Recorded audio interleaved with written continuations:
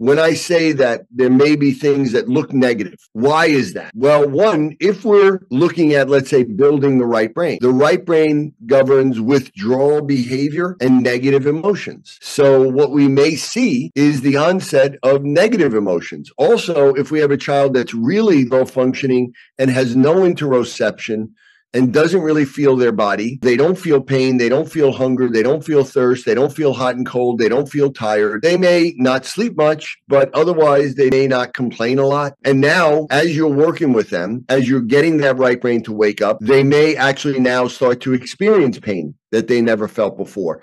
Things may become uncomfortable. They may start to feel hot or cold, or they may feel hungry or thirsty. They may start to feel tired and get cranky. And none of those things may look good because they're designed to make the child feel uncomfortable so that they do something or that they let them know the parent knows that they need to eat or they need to sleep.